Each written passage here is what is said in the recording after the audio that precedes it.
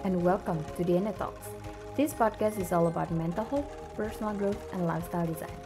In the last few weeks, DNA Talks bersama Psychazy of Indo Lecture yang diwakili oleh Kawita udah ngomongin tentang hubungan antara anak dan orang tua.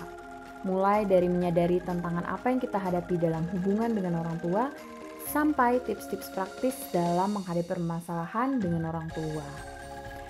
Yang dengerin podcast ini mungkin remaja, emerging adult, atau yang enggak. Nah, di usia-usia segini, biasanya permasalahan kita dengan orang tua bukan lagi permasalahan yang direct. Atau misalnya kayak berantem, adu mulut gitu ya. Suka, suka dimarahin sama orang tua, bukan lagi kayak gitu. Tapi biasanya muncul dalam bentuk tension atau ketegangan karena kita udah mulai punya value sendiri. Nah, di sini nih pentingnya kompromi sama orang tua. Di obrolan sebelumnya dengan Kawita, kita udah ngomongin juga tentang gerak ke tengah. Sebuah analogi tentang bagaimana hubungan bisa menjadi harmonis, yaitu dengan merelakan sebagian dari diri kita untuk dapat berkompromi dengan orang tua. Nah, karena bergerak ke tengah, tentu nggak bisa kalau cuma salah satu pihak aja yang gerak, ya kan? Kalau sebelumnya kita udah dapat perspektif dari anak tentang bagaimana mereka memandang hubungan dengan orang tua dan apa saja yang mereka anggap sebagai tantangan, kali ini DNA Talks akan ngobrol bersama Mbak Fitri, seorang psikolog yang sering menangani permasalahan antara anak dan orang tua. Dan beliau juga merupakan seorang ibu dari empat anak. Nah, kita akan bahas dari sudut pandang orang tua sehingga kita uh, usaha kita untuk gerak ke tengah itu menjadi lebih mudah gitu. So without further ado, let's jump right in. Oke, okay, nah sekarang aku di sini sudah bersama Kak Wita lagi. Halo Nici, halo Iya, jadi um, minggu kemarin kan kita udah ngobrolin ya kak, nggak berminggu-minggu yang lalu kita udah ngobrolin nih tentang uh, hubungan anak dengan orang tua mm -hmm, gitu. Mm -hmm. Nah mungkin itu kan beberapa episode ya kak. Yes. Nah mungkin bisa di review lagi nih kak. Review secara garis ya. besar okay. kita ngobrolin apa aja. Oke okay, pas episode pertama itu kita kayak baru sekedar cerita tentang kira-kira biasanya tantangan orang tua sama anak tuh apa ya Ci ya? Terutama dari sisi uh, komunikasi. Nah ternyata kan banyak banget konteks uh, masalah komunikasi antara orang tua dan anak gitu. Mulai dari karir mulai dari permasalahan emosional dan lain-lain. Nah terus pas di yang kedua uh, episode kedua kita tuh kayak pengen uh, mencoba untuk uh, memahami orang tua gitu ya. Cuman kan kadang orang anak juga merasa bahwa saya posisinya dipahami bukan hmm. memahami gitu ya. Hmm. Makanya waktu itu judulnya adalah memahami atau dipahami hmm. gitu.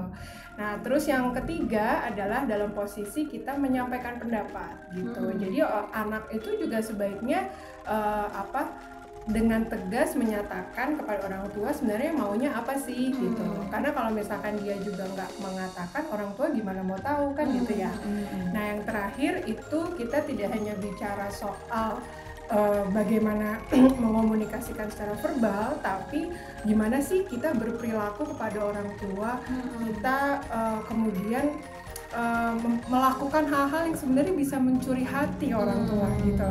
Nah kalau orang tua udah tercuri hatinya, kemungkinan besar tuh komunikasinya kan bakal lebih lancar ya. Hmm.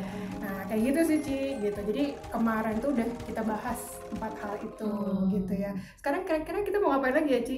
Nah uh, jadi kan Oke, okay, jadi yang pertama tuh memang ada prosesnya mm -hmm. kayak jadi kayak kita harus uh, paham dulu nih mm -hmm. tantangan apa sih yang sebenarnya kita hadapi dengan orang tua mm -hmm. karena kayak yang tadi Kawita bilang ternyata setiap orang tuh beda-beda mm -hmm. gitu. Nah mm -hmm. untuk teman-teman yang dengar nih mm -hmm. uh, tantangan apa sih yang di, dihadapi yes. ketika berhubungan dengan orang tua mm -hmm. gitu. Baru setelah itu bisa menyesuaikan nih langkah mm -hmm. berikutnya, memahami atau dipahami mm -hmm. gitu. Terus uh, kalau kemarin kita ngomongin tentang gerak ke tengah juga gerak ke gitu ya, tengah, ya kayak yes. uh, gimana sih caranya mengkomunikasikan menyampaikan secara verbal mm -hmm. apa yang kita mau mm -hmm. kepada orang tua mm -hmm. dan baru setelah itu kita bisa mungkin uh, mempersuasi orang tua yes. gitu ya mencuri hati orang tua yang tadi kayak tadi kali tadi bilang. Iya.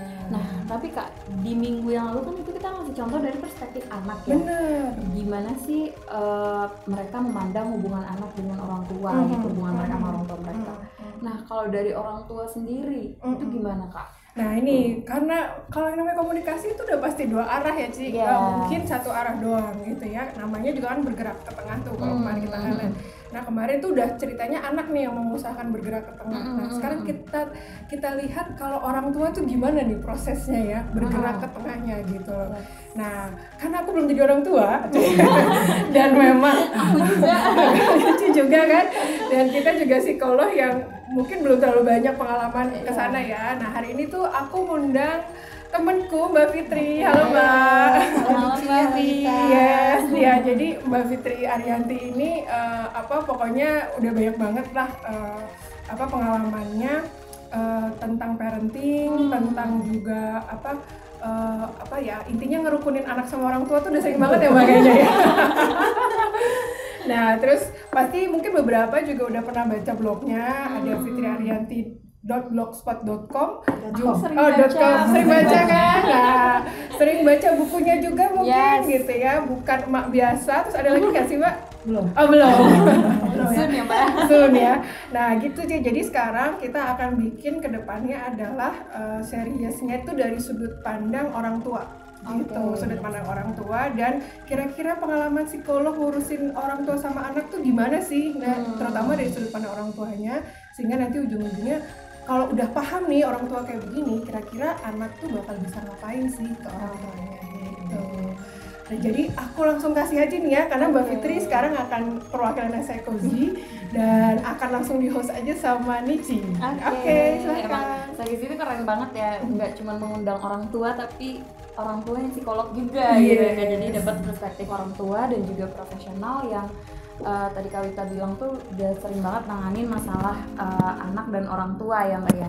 Iya. Oke, Mbak Fit, kalau dari pengalaman Mbak Fitri sebagai orang tua nih Mbak, dan juga mungkin pengalaman Mbak Fitri menghadapi masalah anak dan orang tua dari klien-klien Mbak Fitri, sebenarnya eh, gimana sih orang tua memandang hubungan anak dan orang tua gitu? Dan tantangan apa yang biasanya kalau dari sudut pandang orang tua yang dihadapi ketika menghadapi anak.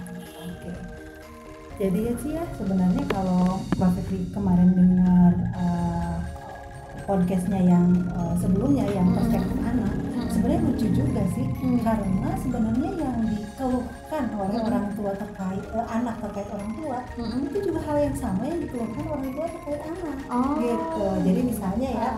kemarin kan uh, ada tuh uh, anak tuh bilang tuh kayaknya orang tua aku nggak mau ngerti aku gitu ya.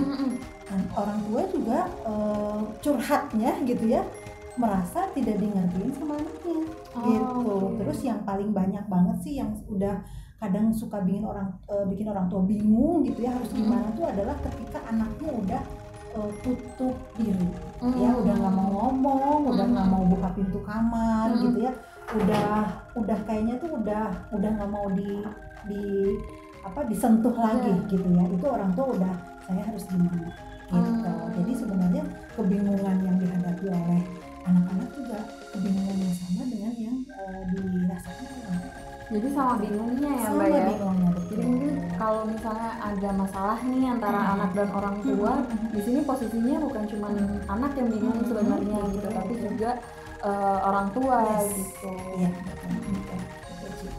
Hmm, terus biasanya apa aja sih mbak yang mempengaruhi ketika hubungan anak sama orang tua Nah, eh, sebenarnya Mbak Fri mau bilang gini dulu ya, Ci ya.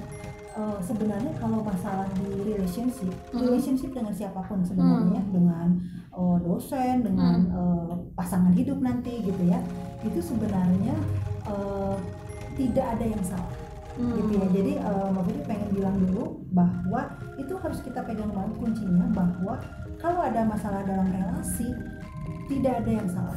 Kenapa Hmm. Mbak Fitri bisa bilang gitu? Kalau misalnya ada klien gitu ya yang Hmm. datang ke Mbak Fitri eh, masalah anak dan orang tua ya. Ah, Anaknya ngomong ya ke Mbak Fitri bla bla bla bla bla. bla. Mbak Fitri Hmm. dengar nggak ada yang salah. ah. Ya, jadi Hmm. misalnya anak itu pengen saya kan pengen mengembangkan diri, saya Hmm. pengen gini, pengen gini, pengen gini. Tapi orang tua saya nggak mau ngerti gitu ya. Hmm. Oh, dia berpegang pada pengalamannya dulu gitu ya, nggak mau dengerin dulu.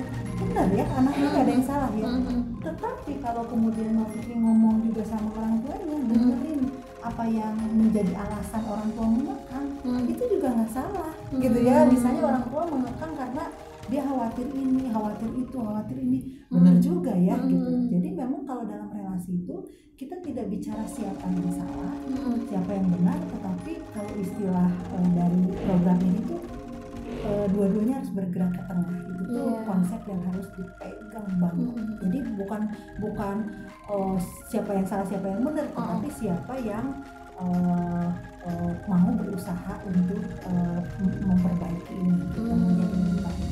Jadi kalau mungkin kita menghadapi masalah sama siapa pun gitu ya mbak ya, eh, yang per- yang perlu kita lakukan bukan nyari siapa yang benar dan Yes. siapa yang salah, Yes. tapi mendapatkan perspektif lain Yes, gitu ya betul. Apalagi perspektif dari eh, lawan bicara Ya. kita dalam konteks ini adalah Betul. orang tua. Ya, kayak gitu. betul.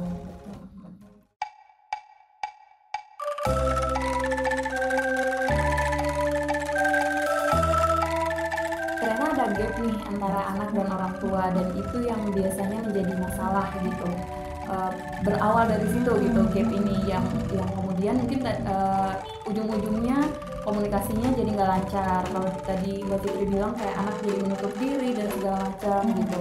Dan dari pengalaman teman-teman yang di eh yang di episode sebelumnya juga ternyata ada yang seperti itu gitu. Mereka ingin mengenal sesuatu